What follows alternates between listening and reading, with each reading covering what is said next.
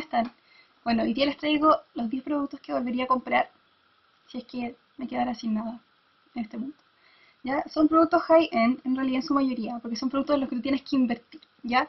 Por ejemplo, yo amo mis color tatú, pero es más fácil comprar una color tatú que comprar algo más caro. Entonces creo que esos productos no los incluiré. ¿ya? Pero sí voy a poner productos más caros que sí volvería a comprar. El número 10, de Clarisonic. Lejos. Fue una inversión, definitivamente, bastante cara, ¿ya? A mí me costó como 160 y tantos dólares. Pero el atado fue traerla, bla, bla, bla, por comprarla ya. Pero definitivamente me ayuda mucho mejor a mi piel. Así que la volvería a comprar. El número 9, The Tarte, los Amazonia Clay Blush. Creo que junto con los de NARS son los mejores rubores que hay. Pero, eh, como que, no sé, los colores que son y la durabilidad que tienen es mayor que la de NARS. Así que definitivamente estos son los únicos dos que tengo, los otros son de tamaño promocional. Estos son los únicos dos full size en el fondo. Eh, pero sí, los volvería a comprar. Cuento que duran mucho en la piel, te dejan un acabado muy bonito. Y por ejemplo este que es el Exposed tiene un acabado además, un color muy natural. Entonces como que sí, creo que sí vale la pena. Otro producto que volvería a comprar definitivamente, que me encantan y que sí, ultra fanática, son los labiales de MAC. Ya, aquí hay algunos. Pero en este momento, de mis favoritos, está este, por ejemplo, que es el Venus, que es un color muy lindo para el verano. Es como un coral, pero rosadito. Está también el ángel, lo tenía, bueno, está el Watch Me Shimmer, que es este color maravilloso para el verano, que es súper prendido, que es una edición limitada. Tengo acá el Hot Gossip, que es un rosado para todos los días. O sea, podría seguir y seguir con todos los que tengo. Este es de la colección de los villanos de Disney, que es un color natural un nude. Acá tengo el ángel de MAC, que como todos saben es el mejor nude rosado. A todo el mundo le viene y todos les queda bonito. Por ejemplo, ¿ya? Y el que tengo puesto es el Syrup. Que no lo saqué, pero lo tengo puesto.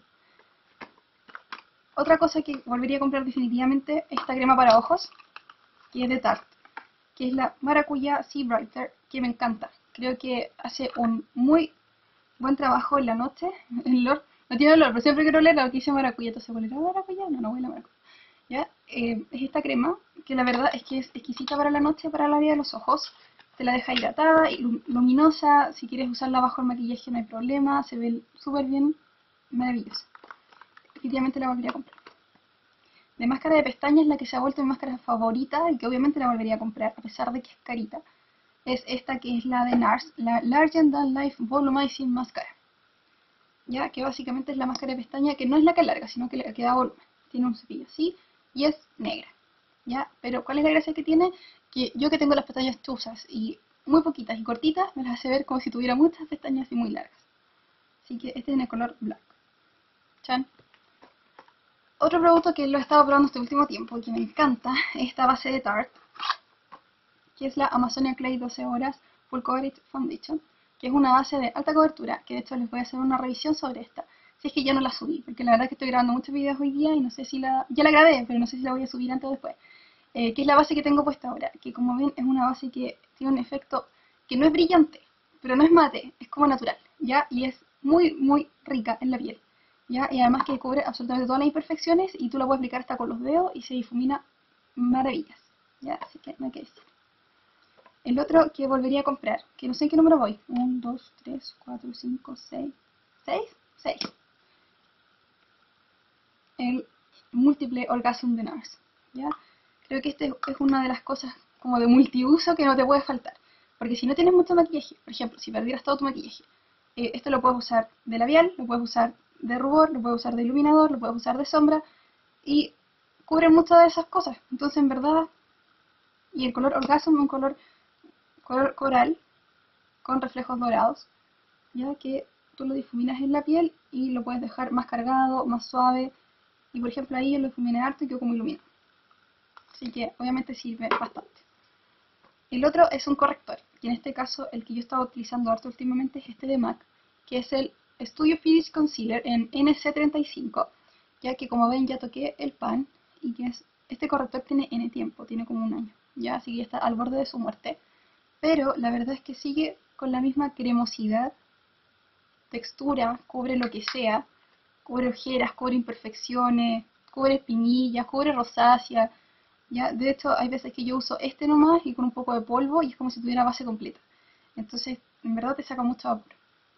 El otro producto que yo creo que volvería a comprar a ojos cerrados es el de Chanel, el Soleil Tan de Chanel, el bronce universal. Exquisito como huele, exquisito como se aplica, se aplica muy fácil en la piel, es muy cremoso. De hecho ahí, fíjense no le meto el dedo, pero ahí está como se difumina el dedo. Si se fijan, es una sedosidad que tiene para fundirse con la piel que hace que quede tan natural, ¿ya? Así que claramente lo utilizaría otra vez, porque en el fondo, con estas cosas que son mis días, creo que siento que puedo hacer un maquillaje completo y que no, no tendría que ser nada más. ¿Ya? Y por último, como vieron, me faltaron las sombras, que yo las sombras que sí volvería a comprar y volvería a invertir en ellas mil veces son las sombras de MAC. Ya, en este caso está la paleta de los neutrales fríos, que son los que, colores que yo creo que a mi parecer me vienen más. Ya, así que definitivamente sí, volvería a comprarla. Por último, quizás no tener todos los colores que tengo, pero tener por lo menos una paleta de neutros, aunque sea de cuatro colores, eh, sí, sería una de las inversiones que yo volvería a hacer. Así que eso, esos son los 10 productos que sí volvería a comprar en mi vida, en los cuales sí volvería a invertir y que creo que valen absolutamente la pena. Ya, así que eso, espero que les guste y si hacen este video, déjenlo abajo como video respuesta para que yo lo pueda ver. Que estén bien, chao.